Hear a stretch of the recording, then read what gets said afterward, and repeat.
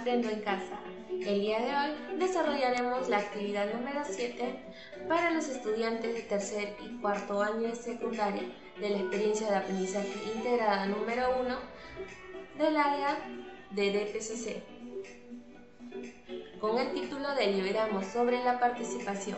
Pero antes de comenzar con el video, no olviden suscribirse, darle like y activar la campanita de notificación para que YouTube les avise cada vez que subamos un nuevo video.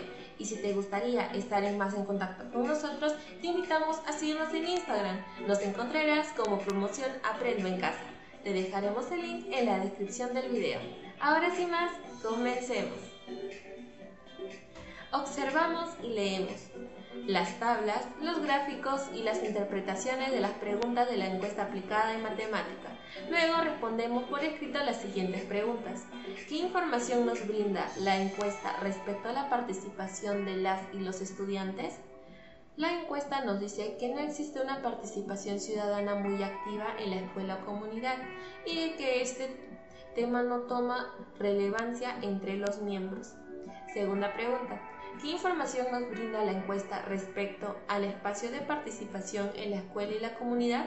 Nos dice que la participación en la escuela o comunidad tiene una tendencia decreciente, cuyo máximo valor alcanza cuando los participantes tienen entre 7 a menos de 10 años de edad y cuyo menor valor se da de los 16 a 22 años de edad.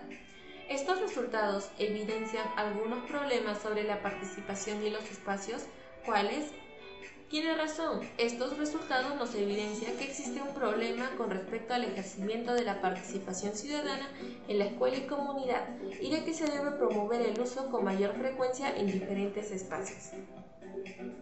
Elaboramos un texto escrito para explicar por qué los problemas sobre la participación y sus espacios que se identificaron en los resultados de las encuestas y que pueden constituirse en un asunto público.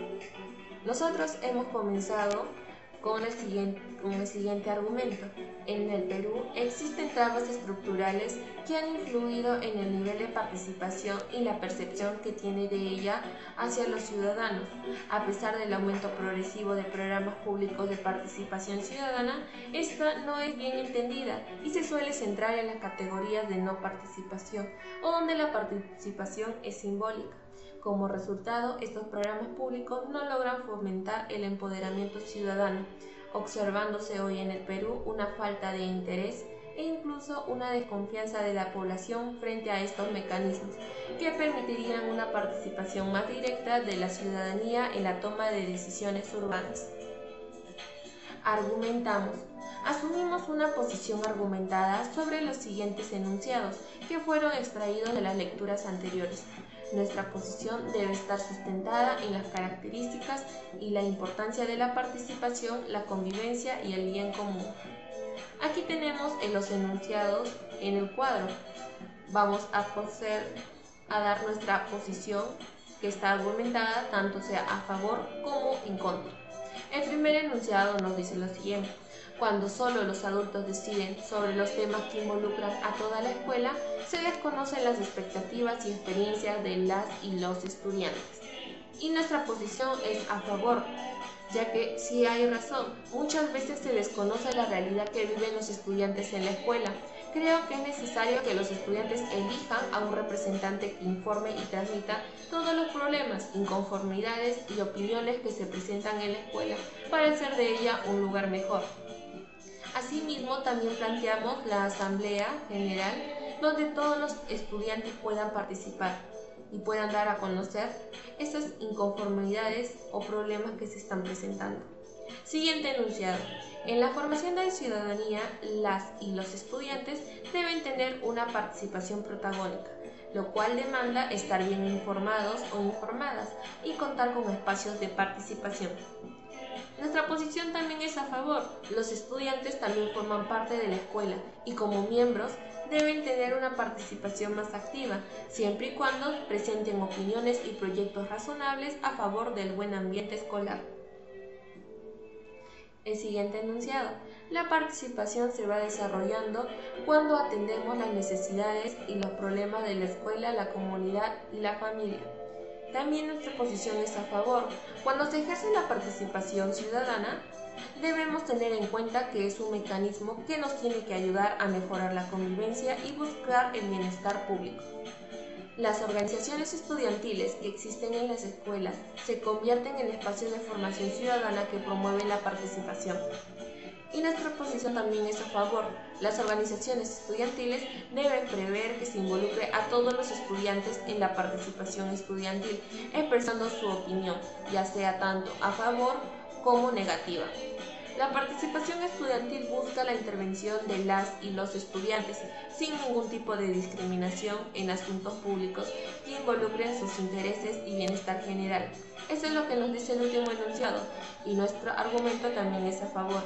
Los estudiantes son libres de opinar sin, sin importar su raza o condición social.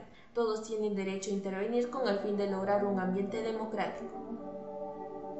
Luego pasamos a leer el texto Mecanismos de Participación Ciudadana que se encuentra en la sección Recursos e identificamos las características de cada mecanismo de participación. Luego respondemos por escrito las siguientes preguntas. ¿Esos mecanismos fomentan la participación de la ciudadanía en asuntos como la comunidad, región o el país? Esos mecanismos sí fomentan la participación ciudadana, sin embargo, estas no se aplican de manera cuanticiosa, pero es fundamental para lograr el bienestar en la comunidad, región y país. ¿Qué hace falta para que nuestra comunidad, la ciudadanía, haga uso de esos mecanismos de participación? Creo que hace falta que los pobladores se involucren más en estos temas, ya que muchos no le toman interés, ya que piensan que no se ven afectados. Sin embargo, a largo plazo, al no lograr un ambiente democrático, surgirán problemas mayores. Leemos. Leemos la noticia Organizaciones de la sociedad civil. Esbozan hoja de ruta para el desarrollo de Arequipa, que se encuentra en la sección Recursos. Luego respondemos la siguiente pregunta. ¿Será relevante que la ciudadanía, antes de elegir a sus autoridades, organice y plantee propuestas de interés público? ¿Por qué? Sí es relevante, porque de esta manera se tendrá en cuenta todos los problemas y dificultades que surgen en la población y a través de esto podremos ver qué candidato propone mejores proyectos que involucra a la ciudadanía para dar solución a estos problemas de interés público. Evaluamos nuestros aprendizajes. Aquí tenemos los criterios de evaluación. Propuse acciones para promover la participación en la escuela o comunidad Sustenté mi posición sobre los problemas que afectan la participación en la escuela y la comunidad, evaluar acuerdos o normas que promueven la participación en espacios de la escuela y la comunidad, mostré rechazo ante conductas de marginación en los procesos de participación. Aquí marcaremos si lo hemos logrado, si estamos en proceso de lograrlo y de ser así, qué podemos hacer para mejorar mis aprendizajes. Marcamos cómo ha ido según nuestro proceso. Y con eso terminaríamos el desarrollo de las actividades de la experiencia de aprendizaje integrada número 1, actividad 7, para los chicos de tercer y cuarto año de secundaria. Espero que este video te haya sido útil y nos vemos en la próxima actividad.